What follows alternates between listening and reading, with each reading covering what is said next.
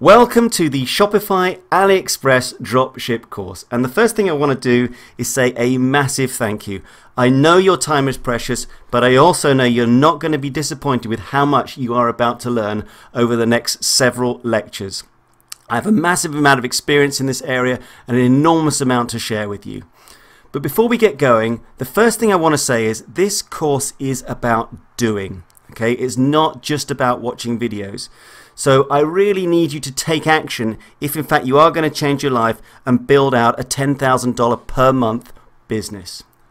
Now, the first things I need to do is to lay the foundation stones for this whole thing on which we can build our business. So we've got a solid base. And I call those the essentials. Okay, so what are they? So the essential number one is the business model or how you will make money. Okay, clearly you need to understand what it is that we're doing here. How are we going to make money? So in the next lecture, I'm actually going to show you a helicopter view of how that all works.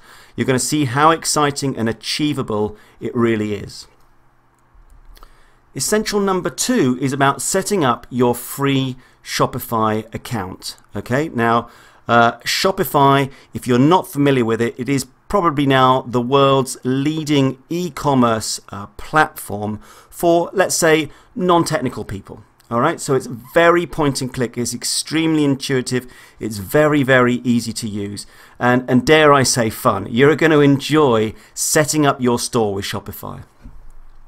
Now, once we've set up that Shopify store, I want to give you a brief tour. Okay, sometimes it can be a bit daunting, particularly if you've never done something like this before in your life. So I'm just going to take you through your Shopify account, familiarize you with it, and put you at ease.